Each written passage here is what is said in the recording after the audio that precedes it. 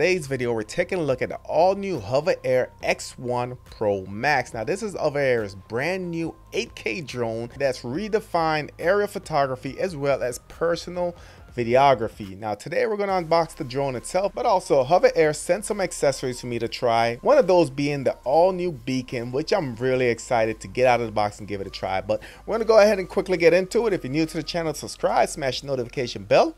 Let's go.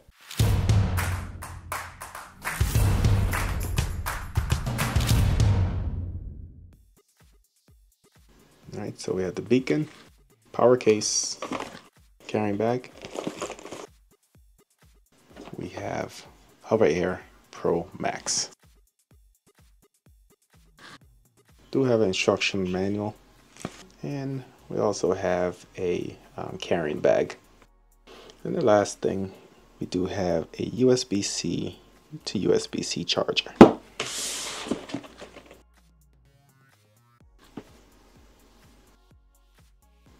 Huge 65 watt charger. Um, extra battery. And we have the drone itself.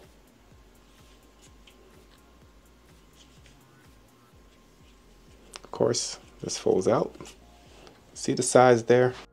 Just a quick side-by-side -side comparison with the DJI Neo.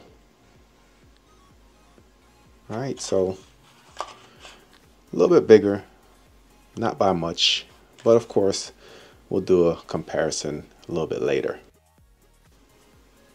This is a two-axis gimbal. We have sensors on the bottom, vents. On the back, we also have a sensor camera. This is for obstacle avoidance. So again, nice size. I think this can easily fit in a pocket. But um, let's go ahead and we'll unbox the other accessories. So next we have the actual carrying case and um, this is a really nice bag. I'm a big fan. Compartment here, uh, this is ideal for the drone. We'll have a strap right here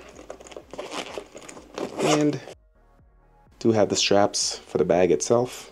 But they also provided some goodies it looks like. So ND filters,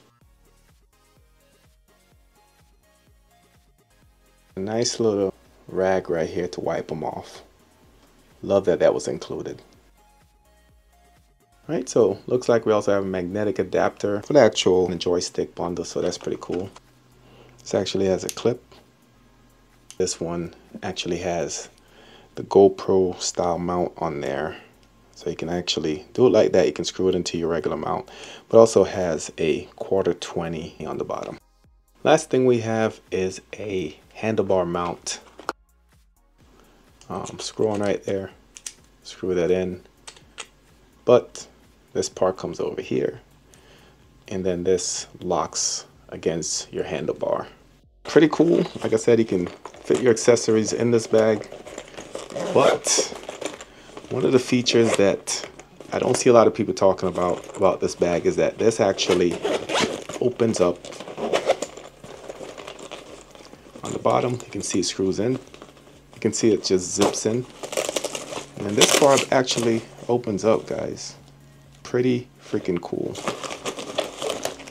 Alright, so with this, I guess you can mount it on a saddlebag, on a handlebar or something like that. But I love the flexibility of this bag.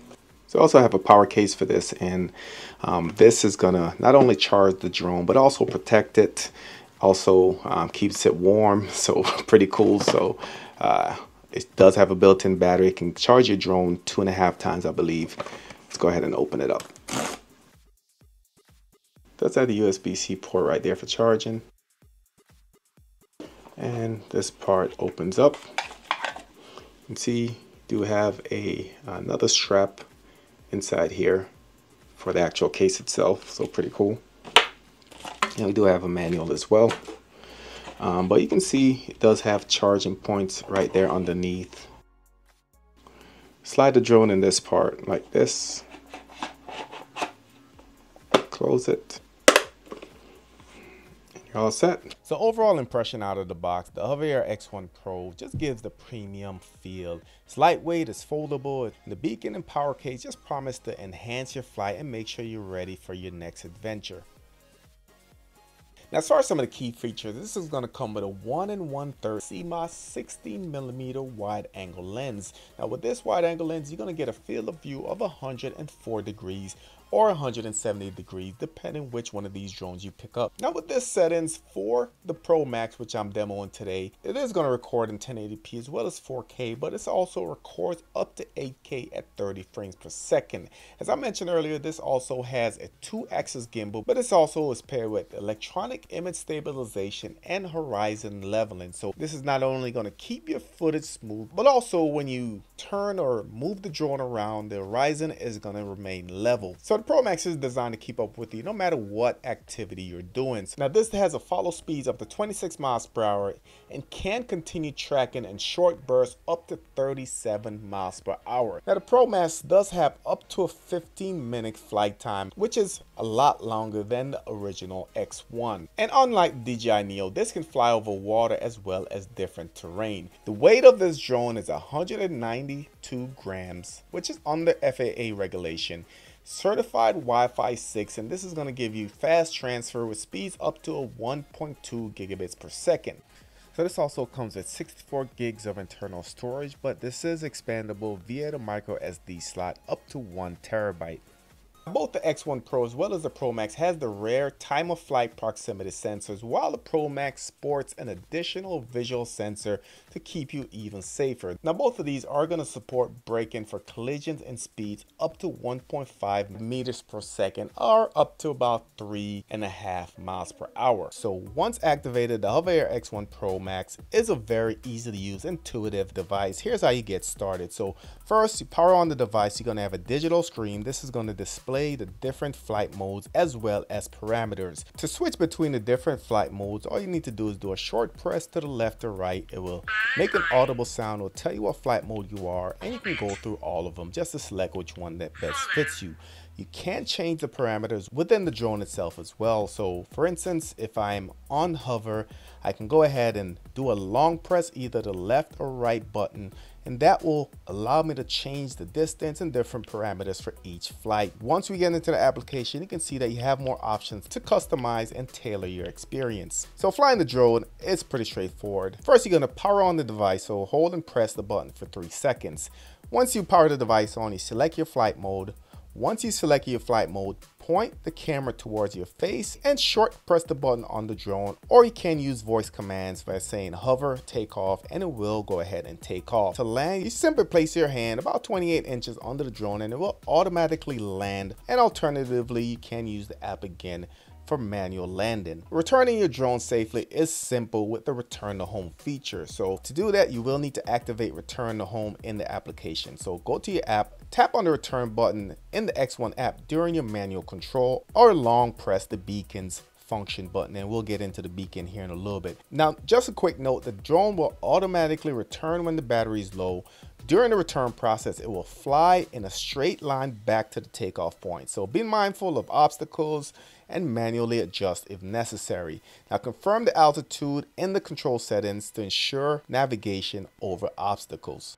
So with all that said, let's go ahead and take it for a spin and check out the different flight modes. So the first one is going to be hover. So hover sounds exactly how it is, guys. It's going to keep hovering in the same position after the takeoff. Now, it will rotate to follow your movement and always keeping you in the middle of the shot.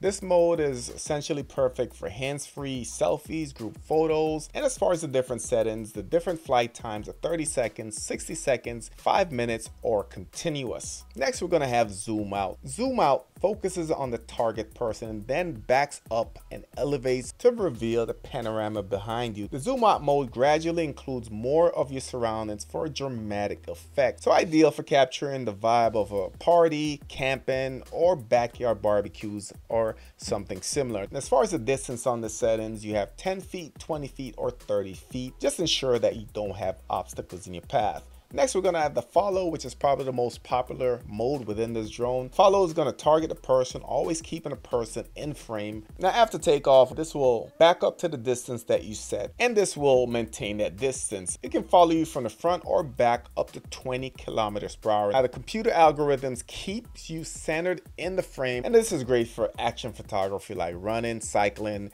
For me, I was on the, the scooter that I'm testing out. So this is great for those moments. Next, we're gonna have orbit.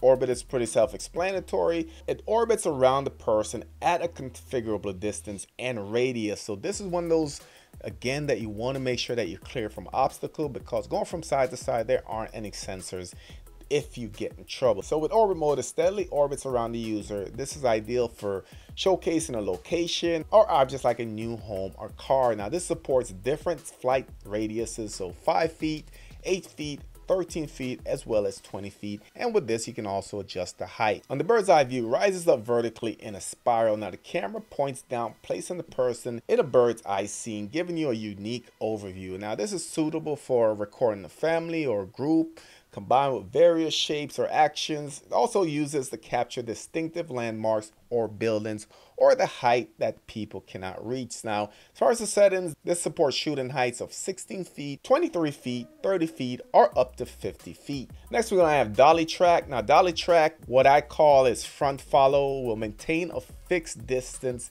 in front of you as you move towards the camera. So this is one of those advanced settings that you really have to practice because the camera is going to follow you from the front. So you really have to guide where the camera goes. So for me, it takes some getting used to, but once you get the hang of it, you can kind of maneuver the camera without using the controllers. Again, just make sure you have the distance and you clear of obstacle. But once you get used to it, this is probably one of the best settings. Now, once this mode is done, just stay still for three seconds, at which point the hover will stop recording and following. Once it does that, just place your palm directly under the drone and it will land automatically. Now the last one is your sidetrack. So sidetrack is gonna move parallel sideways to the subject, just create a unique perspective. You do have different settings. You can set it to follow close, mid, or far, and it does have different altitude settings. So you can set it to low, flat, as well as high.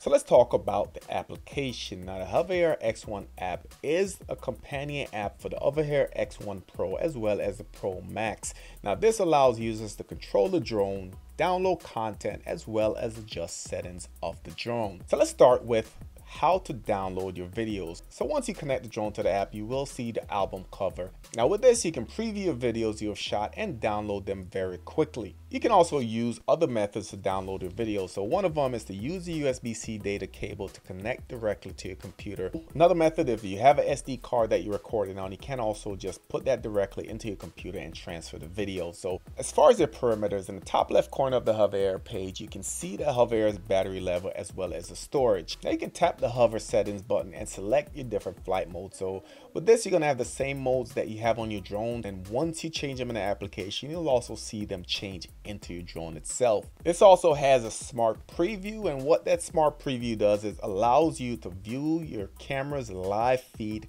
through your phone and this is a game changer. This is to allow you a lot more features such as flight height, frame rate, as well as some digital zoom settings so pretty cool. So for the advanced users there is a manual control as well. All you need to do is tap the camera button on the left and adjust your settings like your ISO your EV as well as your shutter speed. Now in the manual control mode you can also pilot the X1 Pro as well as Pro Max using a virtual joystick or directional buttons. Now with this you can configure your settings by clicking the small gear icon in the top right corner Now on the flight mode page, you can view details, adjust settings. You can tap create to use other special templates or make cool videos with just one click. So the Hover Air X1 app supports AI noise reduction for sound recording using your phone, your earbuds, microphone, or the beacon, and this automatically eliminates propeller noise. So with this, you can choose between light and deep noise reduction in the application settings. And let's listen to what the different ones sound like.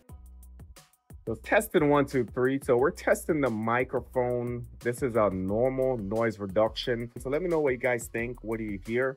So here we are. This is extreme noise reduction. So this hopefully should bring out or cut out most of the propeller noise. So let me know in the comment section, is this better than the normal noise reduction?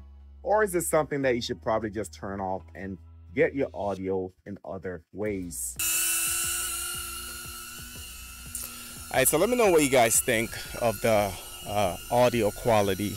Uh, this is probably about eight feet away from me I can hear it really well, but I wanted to see what it sounded like over the beacon. Um, this is the dolly track mode, which is probably one of my favorite modes of this drone. You can see I'm kind of just leading it by walking towards it. And like I said, you can adjust how you actually, um, where you lead it to. So you can see if I go this way, it will lean towards that way. So that's why you gotta just kind of know what you're doing. If you turn around, it will start tracking you. Start running.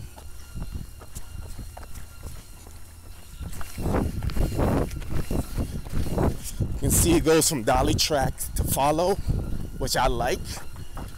But again, all I need to do is turn around. It will start um, tracking me from the front. And of course, to stop this, all you need to do is stay still for a couple seconds and you can see it just stop recording. So that's the overview of the application, just a ton of features. This is gonna allow you to get to those advanced features that you may not have on the drone itself and just opens up so much more possibilities to get the results you need from this device.